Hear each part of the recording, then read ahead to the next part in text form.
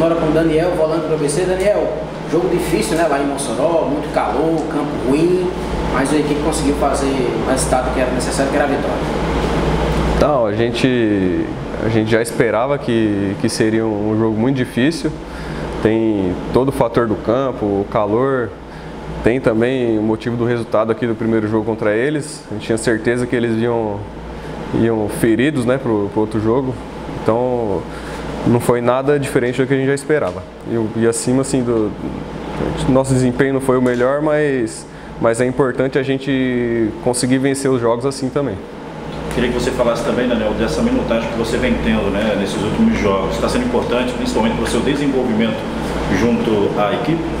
Claro, é, acho que todo jogador é, trabalha para ter essa, essa boa minutagem, porque quanto mais a gente vai jogando, mais ritmo de jogo a gente consegue ter e desempenhar melhor. Inclusive no jogo aqui em casa você conseguiu fazer gol, ajudar a equipe, né? Fala um pouquinho desse momento.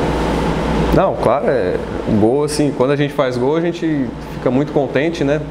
É, ainda mais pelo momento do jogo que era, a gente estava perdendo o jogo, o time dele estava bem, bem na partida.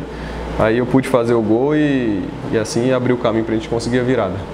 Ô Daniel, você teve, quando na sua chegada, né, um problema no pé que acabou te atrapalhando um pouco. Esse problema já está 100% resolvido, você não sente mais dores. Hoje, se o professor precisar de você para uma sequência de partidas, você está à disposição?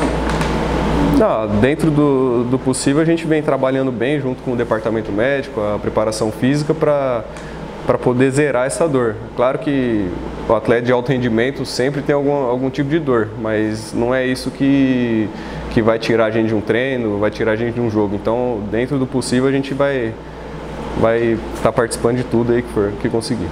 O Daniel, ontem a vitória foi de fundamental importância para você já encaminhar essa classificação para a fase seguinte. Obviamente que o jogo contra o Globo é aquele que pode realmente sacramentar preparação para essa partida, como é que vem sendo já? Obviamente que hoje foi só apenas o primeiro trabalho depois do jogo de ontem. Não, tá, tá vindo dentro do, do planejado. É, a gente está com essa meta aí de, de o quanto antes conseguir a classificação e, e pontuar o máximo possível, porque a gente sabe que lá na frente faz diferença a gente poder decidir uma, uma decisão em casa. Né? Pegando o gancho dessa pergunta, né, não só sacramentar a classificação é, campeonato estadual, mas também é, ajudar nas próximas competições. Né? Vocês também estão participando da Copa do Nordeste, agora ser dois jogos seguidos em casa, vai ter um gol, na sequência vai ter já Fortaleza voltando aí para a Copa do Nordeste. Então é, é importante pontuar em casa principalmente. É, é importante pontuar e, e, acima de tudo, quanto antes a gente classificar no, no estadual é melhor, né? E, e, também, cada vitória que a gente tem, a gente vai tendo mais confiança para poder ter bons, bons resultados. Agora, Daniel, como é que, como é que vocês fazem né, para fazer, fazer com que a partida do Fortaleza no sábado não atrapalhe tanto a preparação de vocês para o jogo da quarta-feira contra o Globo? Né? O ABC em 10 precisa ir de mais, só mais um ponto no estadual, né? até um empate aqui quarta-feira já garante o time matematicamente na próxima fase.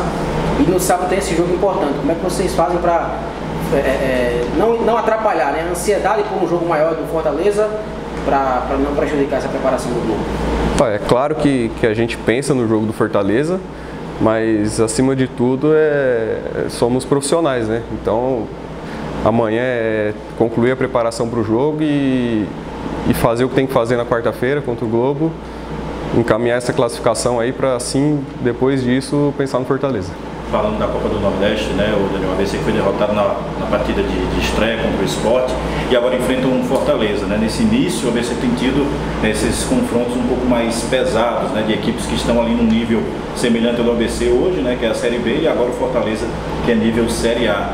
Há uma preparação diferente para um jogo como esse? De repente o jogador já pensa como é que se deve comportar, até porque do outro lado sabe que tem uma, uma equipe muito qualificada, tem um, um jeito diferente de se preparar para um jogo como esse? Olha, a verdade é que, independente do, do adversário, a gente tem que se preparar 100%.